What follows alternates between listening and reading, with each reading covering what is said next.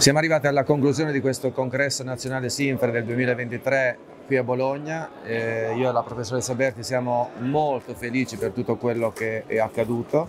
Abbiamo ricevuto veramente tantissimi eh, complimenti da parte di tutti i partecipanti, compresi anche gli sponsor perché sono stati molto eh, frequentati. Eh, siamo onorati di far parte di questa comunità scientifica e ancora di più siamo onorati di aver contribuito alla realizzazione di questo congresso che credo che rimarrà un po' nella storia della Sinter.